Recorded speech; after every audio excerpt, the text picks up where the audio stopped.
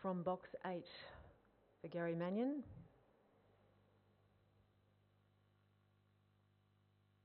Amberlight about to turn to green. Stand by for a start. All in for the last. 5.15 the journey. Off. Kissable away to a reasonable start. Best to go was Disco Lemonade, who spears forward from going in style, shooting through on the inside, taking their trail as Giveaway King. Over on his outside now is Scooby Boy, gathering momentum. Battle length away now is Kissable, and on the improve, and Mickey Raven drops out to last.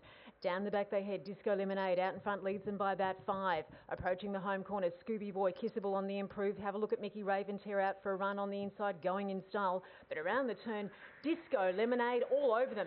Over the line by about seven or eight. Giveaway King has shot up on the inside to grab second, then possibly Kissable from Mickey Raven further there to Scooby Boy and going in style last in. And the time they've posted for the run, 30 seconds flat. Disco Lemonade. Could certainly do with a lemonade in these rather warm conditions here in Melbourne. Tammy Kennedy Harris taking out the last.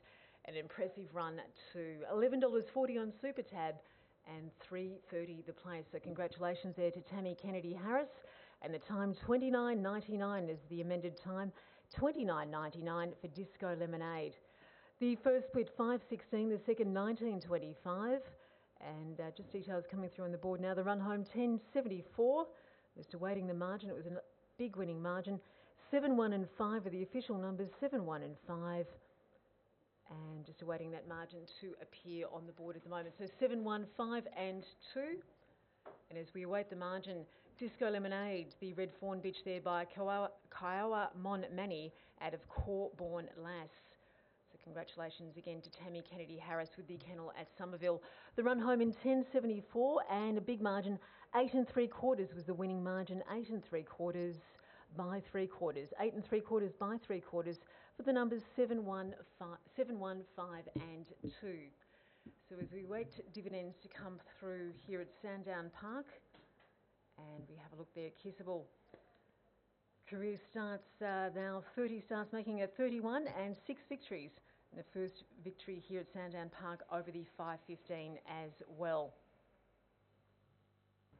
So 29.99 is the amended time as we await the tote dividends to come through.